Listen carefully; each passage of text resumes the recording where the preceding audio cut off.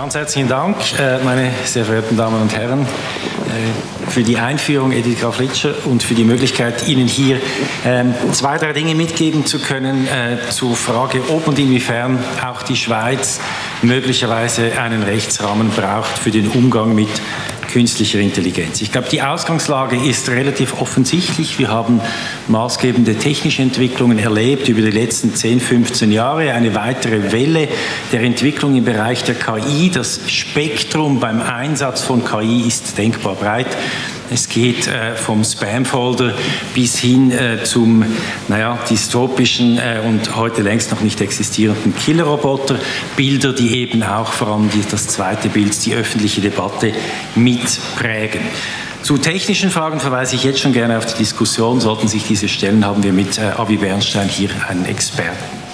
Aus rechtlicher Sicht ist äh, bemerkenswert, dass die EU wenig überraschend bereits vorgelegt hat. Es gibt eine ganze Reihe von äh, Staaten weltweit, die sich mit der Frage befassen, ob und inwiefern KI rechtlich eingefasst werden soll. Die EU gehört hier äh, als Staatenbund mit dazu und hat, wie Sie wahrscheinlich wissen, am 21. April diesen Jahres einen Entwurf vorgelegt für eine umfassende Regulierung, für einen Verordnungsvorschlag, den Draft EU AI Act.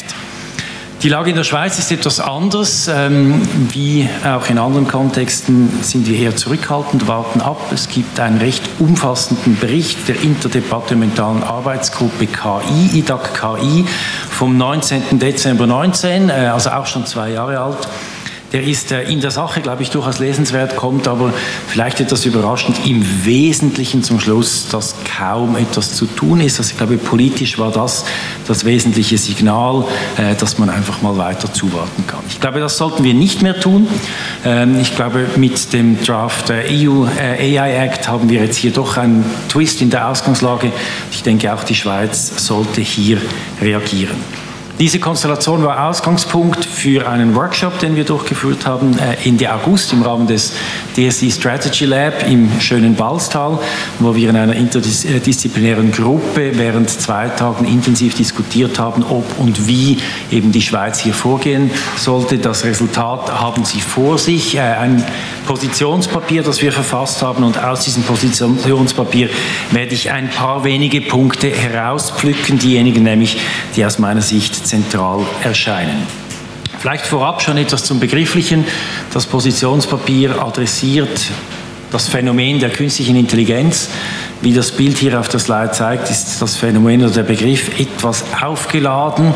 Äh, wir verwenden im Positionspapier deshalb und auch aus weiteren Gründen den Begriff algorithmische Systeme, nicht zuletzt deshalb, weil die Probleme, über die ich kurz sprechen werde, eben auch auftauchen, wenn keine KI eingesetzt wird, sondern eben andere Technologien, die aber ähnliche Wirkungen haben.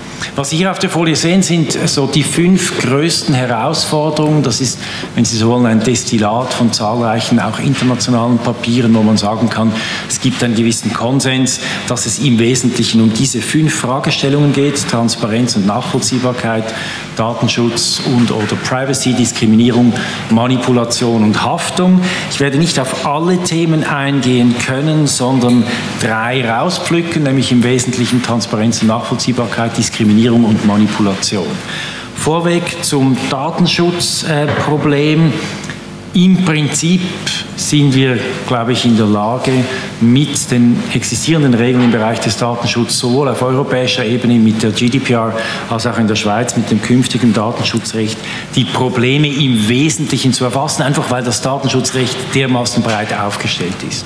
Damit soll nicht gesagt sein, dass der Datenschutz funktioniert.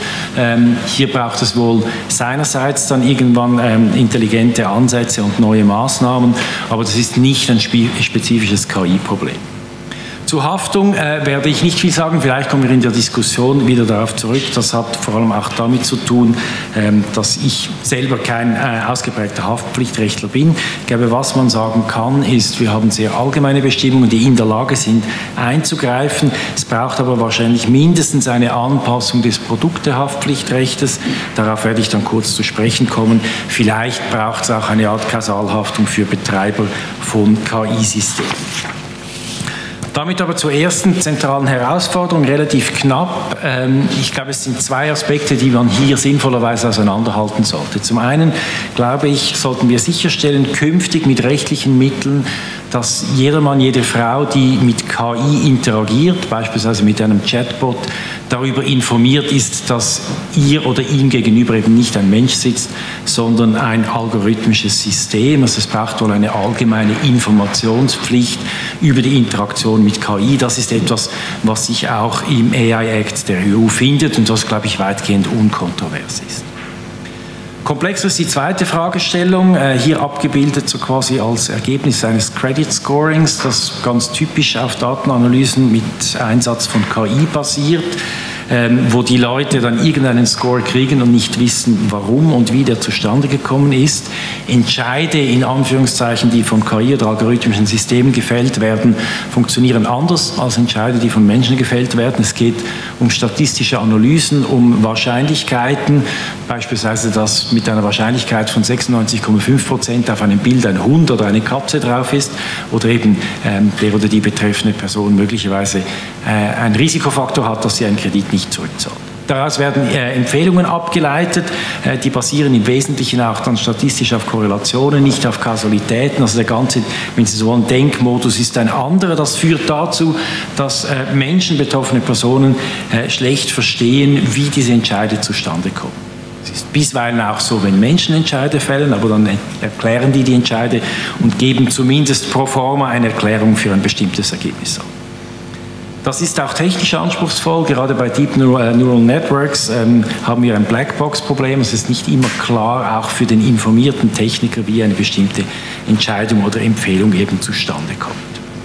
Entsprechend äh, macht es Sinn, die Nachvollziehbarkeit von solchen Entscheidungen durch algorithmische Systeme mit rechtlichen Mitteln sicherzustellen, soweit dass äh, die Entscheidung auf dem Einsatz von Personendaten beruht, was aufgrund des breiten Begriffs von Personendaten fast immer der Fall ist, hält auch hier das Datenschutzrecht schon gewisse Mittel ähm, zur Verfügung. Das Auskunftsrecht gibt bereits heute oder dann in der Schweiz künftig ein Recht darauf zu informiert sein über die involvierte Logik, der Logic involved, wenn bestimmte Entscheidungen gefällt werden. Hier braucht es also nicht besonders weitgehende Schritte. Ein zweites Problemfeld ist das Problemfeld der Diskriminierung. Das ist uns allen bestens klar. Das ist auch kein KI-spezifisches Problem. Ähm, aber wenn KI trainiert wird mit Trainingsdaten, in denen eben Bias drin ist, dann wird auch die KI mit Bias Entscheidungen fällen. Es kann auch sein, dass das der Algorithmus selber äh, zu Diskriminierung führt. Häufig liegt es aber eben an den Trainingsdaten, die hier verwendet werden. KI kann also zu neuen Problemen im Bereich der Diskriminierung führen, neue Vorgänge, auch eine Art erweiterte Skalierbarkeit oder wenn einzelne Menschen Entscheide fällen, dann haben diese Entscheide eine Auswirkung auf eine begrenzte Zahl Personen. Wenn das eine Maschine tut, äh, können das möglicherweise Tausende oder Hunderttausende von Personen sein, die von einer potenziell diskriminierenden Entscheidung dann betroffen sind. Gleichzeitig ist KI auch eine potenzielle Lösung wenn wir versuchen wollen, Diskriminierung in den Köpfen von Menschen auszulöschen, dann sind das jahrzehntelange gesellschaftliche Prozesse, die dafür vielleicht notwendig sind. Wenn wir versuchen sicherzustellen, dass KI mit Non-Biased Data trainiert wird, dann ist das zwar auch nicht unkomplex, aber deutlich äh, erfolgversprechender, als wenn wir versuchen, sozusagen in den Köpfen der Menschen anzusetzen. Weil Diskriminierung kein KI-spezifisches Problem ist, braucht es, glaube ich, auch keine KI-spezifische Lösung, nicht durch ein KI-Gesetz oder etwas Ähnliches, sondern es braucht Rechtsregeln, die für Menschen und für algorithmische Systeme greifen. Hier kommt eine erste Differenzierung zum Ausdruck, die uns bei den ganzen Fragen immer wieder begleiten wird, nämlich die Differenzierung zwischen Normen, die sich an Behörden richten, an den Staat und solchen, die sich an, an Private richten. Sie wissen, wir haben ein umfassendes Diskriminierungsverbot in der Bundesverfassung, Artikel 8 Absatz 2. Das gilt aber als solches nur für staatliche Akteure.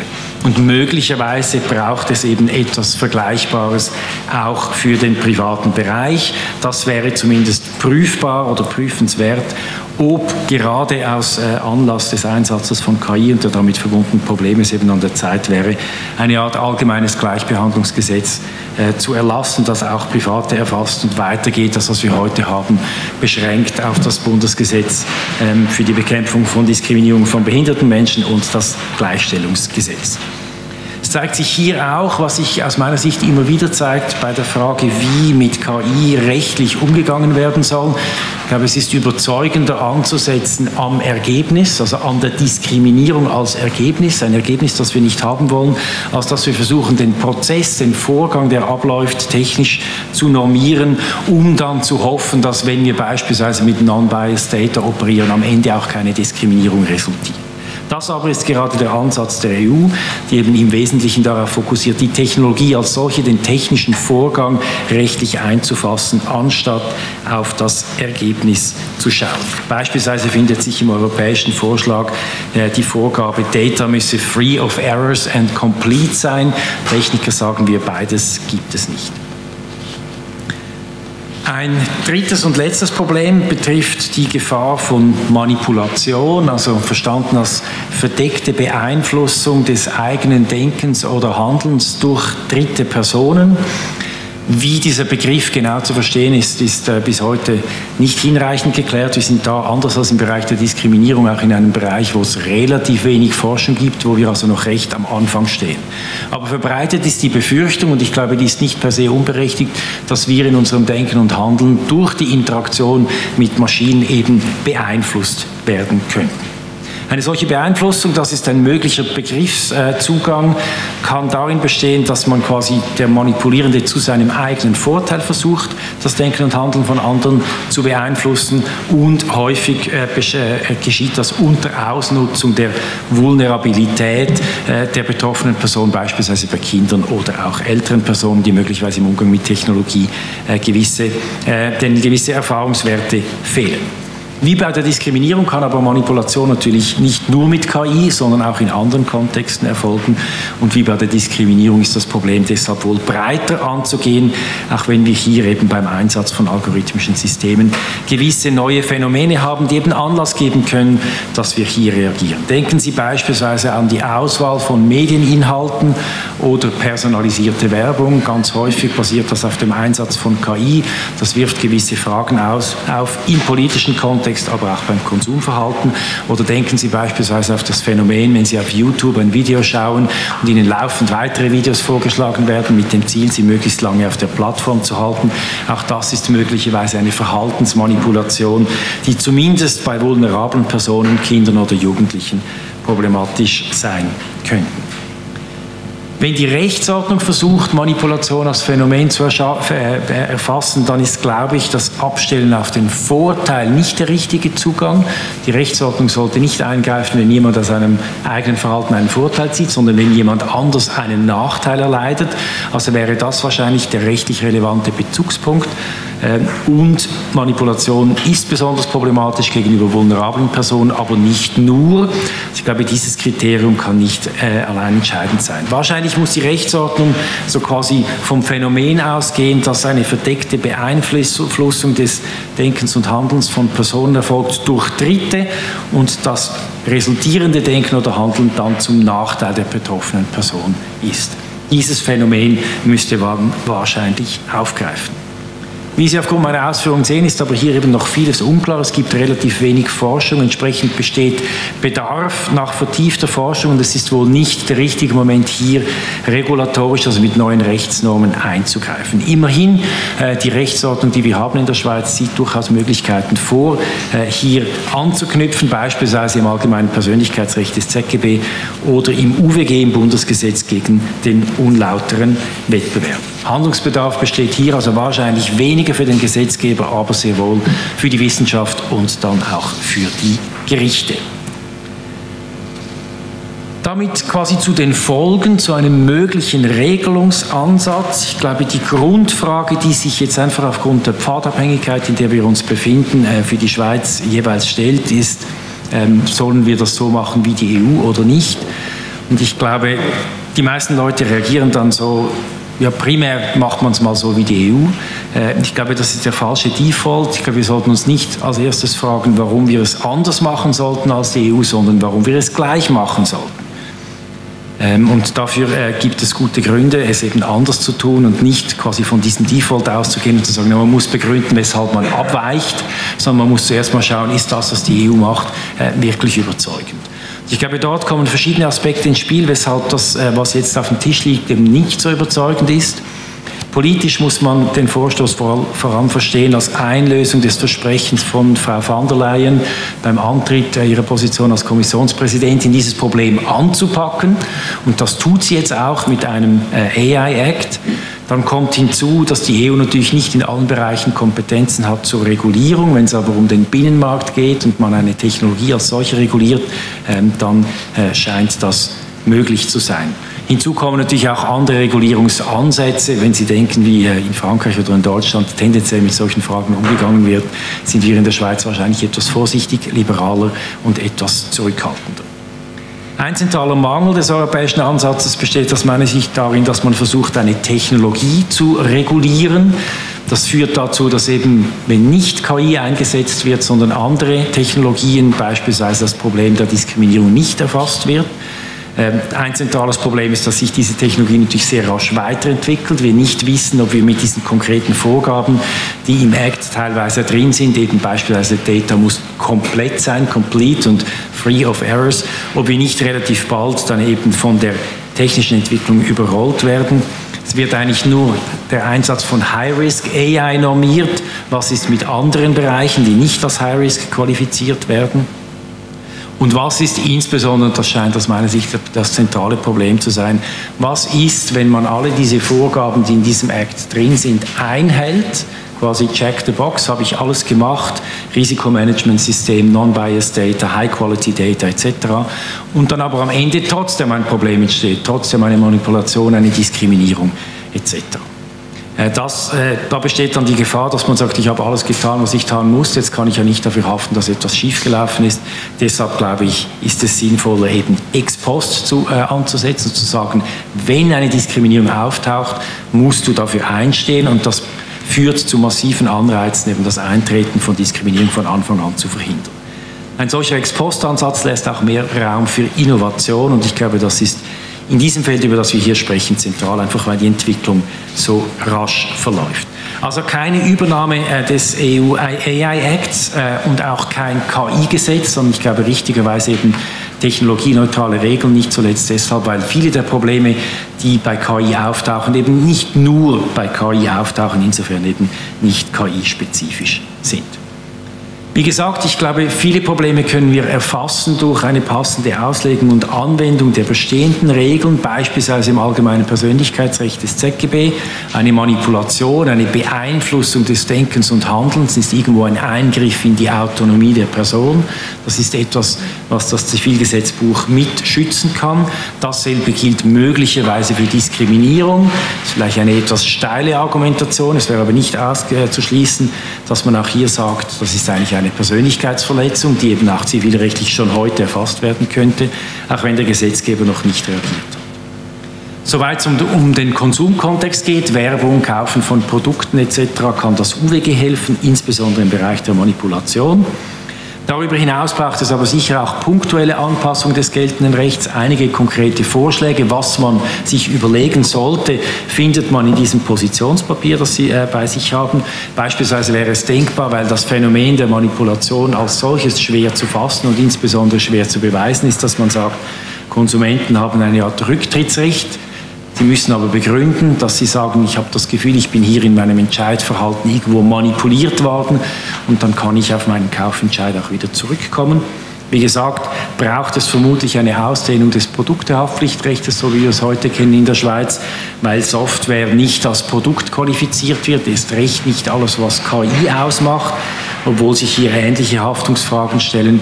Möglicherweise braucht es auch eine Betreiberhaftung für jeden, der KI als Produkt eben, äh, als System eben einsetzt. Und möglicherweise oder fast sicher müssen Zulassungs Zulassungsverfahren, Konformitätsbewertungen beispielsweise im Bereich von Medizinprodukten ähm, überprüft werden, ob diese Verfahren auch beim Einsatz von KI noch in der Lage sind, die gewünschten Effekte zu erzielen.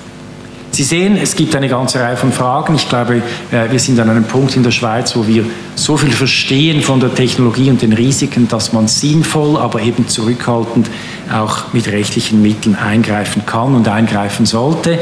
Die ganz konkreten Lösungen liegen noch nicht auf dem Tisch. Äh, der Vorschlag des Positionspapiers ist deshalb derjenige, dass eine Expertenkommission eingesetzt werden soll, interdisziplinär zusammengesetzt, selbstverständlich mit externen Experten, die den Bund unterstützen und deren Aufgabe darin bestehen sollte, ganz konkrete Vorschläge zu erarbeiten, wie das Schweizer Recht angepasst werden sollte, um die Herausforderung des Einsatzes von KI mit rechtlichen Mitteln angemessen einzuhegen.